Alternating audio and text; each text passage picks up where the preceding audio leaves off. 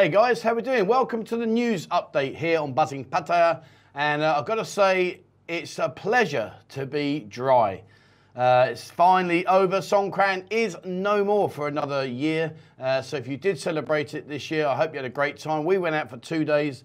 And uh, yeah, it was mental. First day was not so, not so good, but the second day was just full on, as to be expected. But finally, I can ride around now without being worried about getting soaking wet and uh, having ice cold water thrown over me. So what's been going on? I'll tell you what. There's a there's quite well. There's a, there's a big stink at the moment about the electricity. I'll talk about that in a second. Uh, there's there's a few parties happening, a few events that I want to show you, share with you.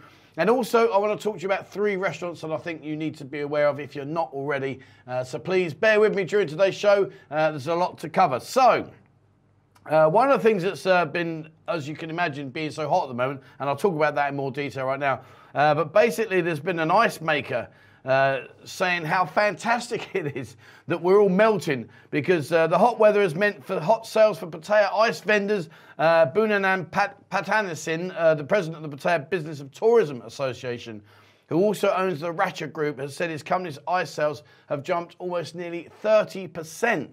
Um, you know, now if, if, you're not the kind of person likes ice in your beer, maybe you need to think rethink that strategy because uh, I'll tell you now, honestly, you ask anybody around here, it is just crazy, crazy hot. And the humidity levels are so scorchingly high. It's just, I feel like I'm melting. For, for the first time in what, 11 years of being here, um, I've ever experienced the, the heat that we're having right now as we speak. Uh, but yeah, so he goes on to say that he's moved over 8,500 blocks of ice, and each block of ice is 100 bars. So he's had a right Billy bargain, and he's, he's done himself a decent earning uh, and there's no sign of the actual heat at the moment uh, calming down. I'm speaking to a lot of people that are over here that are here on holiday, and they're all saying the same thing. It's like, man, this is just too hot. Uh, following on to this, this information this week is from the Pattaya Mail. Uh, it goes on to say about, we're talking about the heat. It says the heat index rises to 54 degrees in Bangkok, Chonburi, and Phuket. Health risk warned. Uh, so they've gone and said it's, uh, you know, you need to be very, very careful. You know, guys, you know, wear a hat, try and keep yourself cool, keep lots of water, make sure you're fully hydrated. Uh, you know, it really does catch you, especially if you're like sitting on the back of a motorbike, you don't perhaps realize it, or you're just walking around, there might be a nice breeze, but that sun is beaming down on you, and I'll tell you what, it is really, really hot. So, guys, you know, please, I'm not, I'm not trying to teach you to suck eggs here, but, you know, please drink lots of water, wear a hat, plenty of sun cream and uh, sun factor, and just make sure you keep yourself as best as you can, as cool as you can. Uh, it goes on to say here the heat index will soar to 54 uh, in three areas Bangkok's Bang Na, Chonburi, and Phuket. And uh, it goes on to say the Director General of the Meteorological Department, uh, some long words there, uh, it could be the peak of heat index this summer. Hot temperatures combined with relative humidity could pose a health risk to people staying outside in the hot weather. Uh, so there you go, you know, straight from the, the big boss himself, he's saying, guys, please be very, very careful. Now, there's a knock on effect to this because me personally, and uh, you know, chatting to Ian the other day, we're both the similar uh, thoughts here, as well as many others. But electricity bills have risen incredibly high. I was chatting to Stephen the other day, uh, and he was saying that three of the venues that he owns, three of the bars he owns, all three, their electricity bills have doubled uh, since uh, in comparison to what they are normally. And uh, you know, it's a it's an indication that people are using the aircon a lot more. Uh, but also, I'm not sure about why the electricity has seems so expensive at the moment. No one seems to put their finger on it. But there is a relief, and you can laugh at this when I tell you this. Uh, it says here the power tariff on electricity bills are going to be cut from May to August in 2023. Now, hang, hang on, before you get excited, it says the power tariff during the period will drop from 4.77 baht to 4. Point, wait for it, 70. So you're going to get 7 satang off your bill. I mean, it's just. Well, it's not. It's not even seven. It's it was at four point seven. So it's four baht seventy satang. Yeah, so you're gonna get seven satang off your uh, off your electricity bill, which in the grand scale of things is meaningless. Here's a question for you guys that are watching. What's your electricity bill? Like, what, what do you pay per kilowatt or per unit? We're going to pay 4.7 uh, 4.7 baht for a unit. Um, I don't know what that is. Is a unit a kilowatt, an ampere? I, I, don't know. I just plug things in. If it works, Billy bonus. Um, but you know, yeah, what are you what are you guys paying right now for your electricity bill? And uh, guys, you know, if people do are kind enough to share what they're paying, and it might be high considering to where you are or whatever. You know, let's let's keep the comments nice and friendly, guys. Let's keep it on on track. But yeah, I mean, my my condo electric bill's probably around about 1100 baht. Uh, my house is about 1800 to 2000 baht. Um, so it's a, it's a relative amount, really. Uh, but fortunately, they're not like Stephen's bills, astronomical. Uh, but yeah, so what do you pay for electric, guys? So, and uh, if you are here, good news, guys, good news. Don't worry, you're going to be saving from 77 satang down to 70 satang.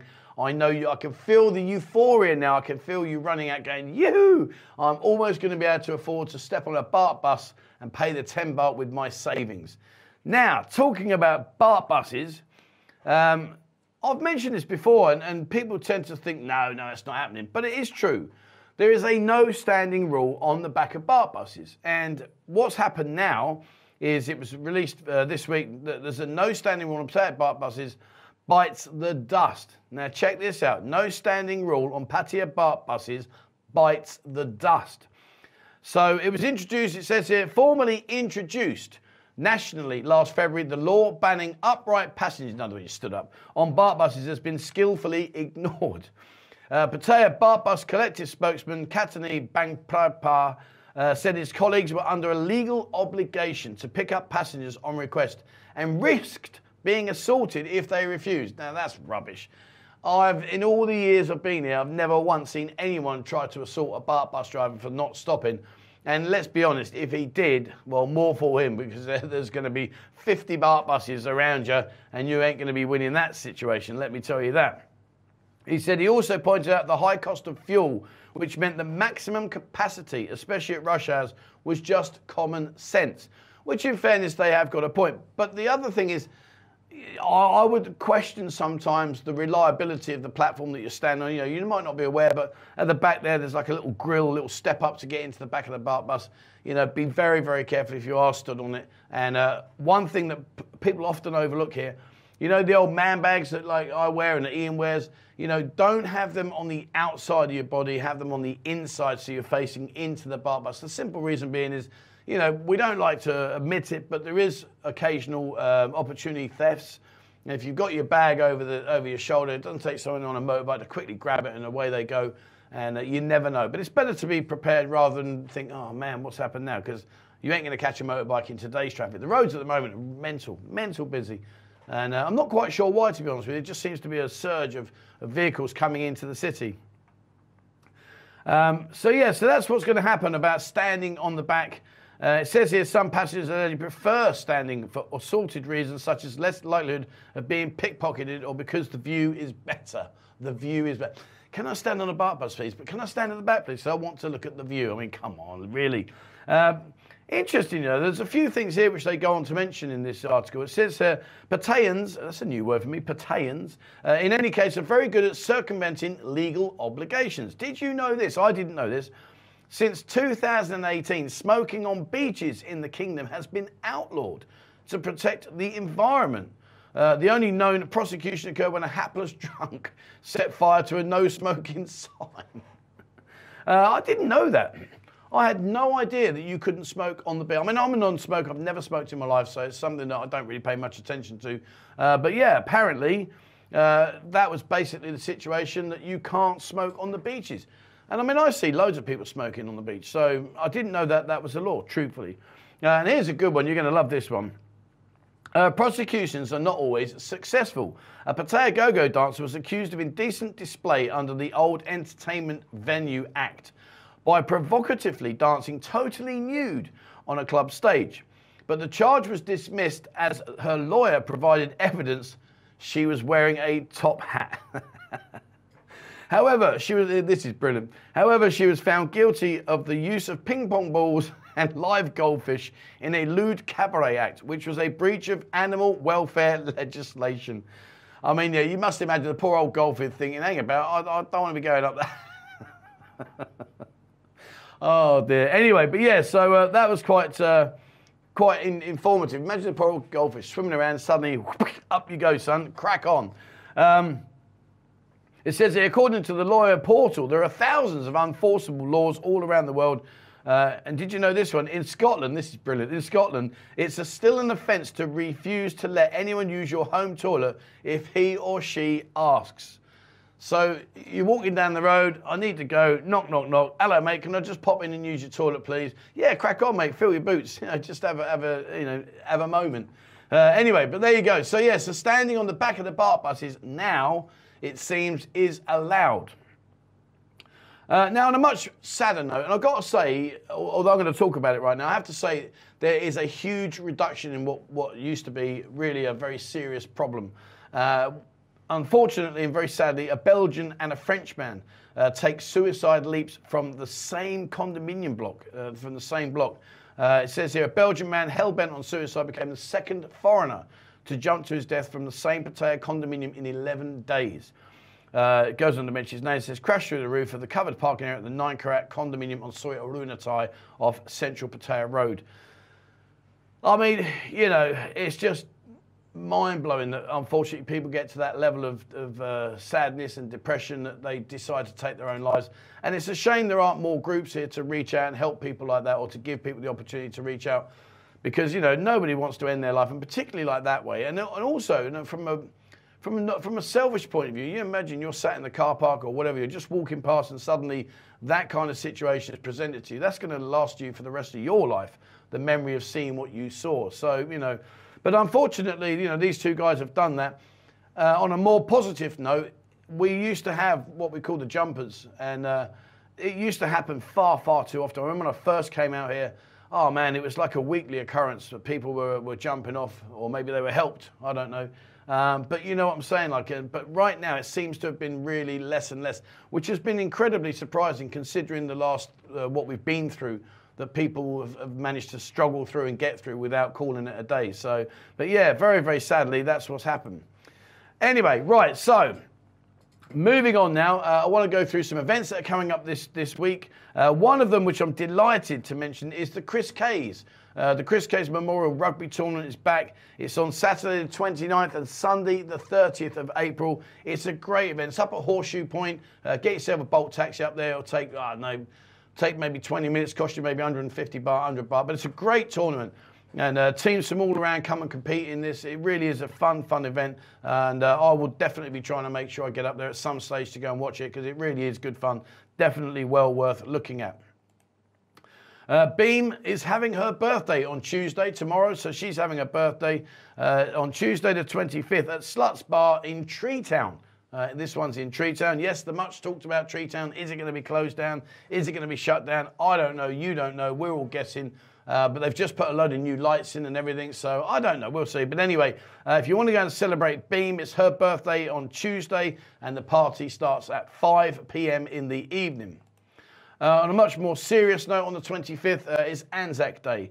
If you go down to Jomtien Beach, uh, there's an event going on. There's a very special day coming up soon on the 25th of April. We'd like to like you all to come to celebrate Anzac Day with us here at the Wombat and Kiwi to pay our respects to the fallen and after enjoy some great food and a nice cold beer together. Uh, mentions here there's items below in addition normally is like Vegemite sandwiches, meat pies, chips with gravy, barbecue sausages in bread. The event starts at midday at 12 o'clock.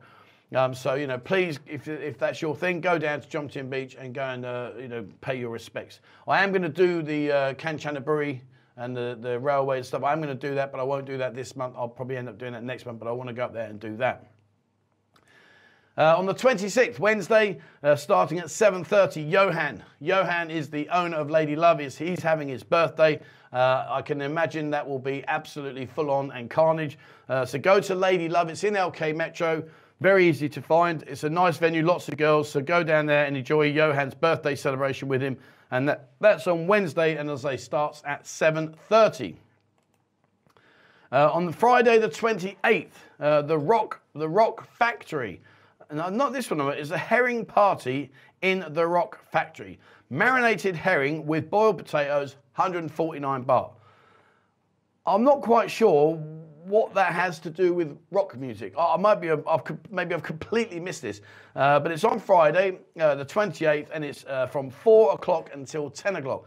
I have to say, uh, having been past there a few times, the band in there are decent. They play a good, good selection of rock covers, and they're tight as well. They, they do nail it down. But yeah, the herring, uh, this herring with boiled potatoes, I'm really not sure whether. Help me out, guys. What is the uh, Maybe maybe the owners from wherever they do this this herring thing. I, I, I, honestly don't know. But anyway, the point being is, get yourself some herring and spuds, mashed potato, and uh, go to the Rock Factory and enjoy some great music. It really is very very good.